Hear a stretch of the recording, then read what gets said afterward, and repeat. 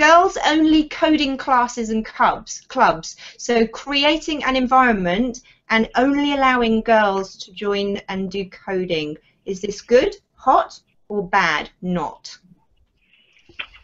I'm going to say hot because i do think that sometimes it, girls need a space to be amazing um, and I think it's really important to, to, to offer them that space.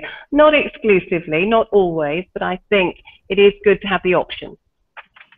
Yeah, and um, that Ann's the only one I disagree with again. Alison, why do you think why do you think hot?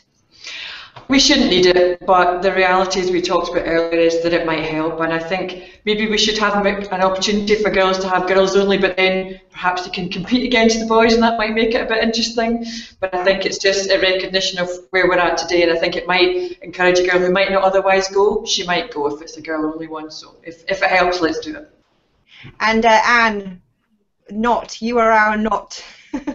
yeah, I guess it's picking up Alison's point about really we, we probably shouldn't need to do it. And I think something like coding, particularly if you catch everybody at a very early age, um, doesn't seem to be STEM. It's that sort of that gaming environment that attracts everybody. So for, for me, it was are we creating our own stereotypes by actually splitting the groups up by gender?